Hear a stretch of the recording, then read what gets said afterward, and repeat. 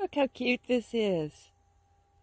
Somebody, a friend, gave me some homemade goodies for Christmas. Look at those cute little candy canes and stuff.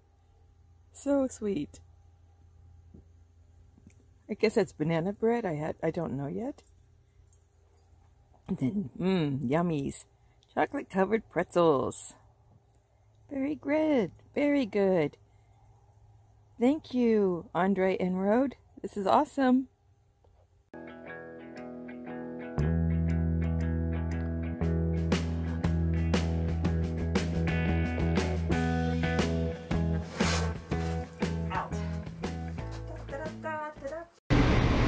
Okay, so here's the Christmas store. The reason my sister came, and I was looking at, of course, me, looking at the stuffed animals, the puppy dogs. You found a Roddy puppy. How cute. For my dog sitter. So yeah, then I got in trouble for not being in the Christmas store part.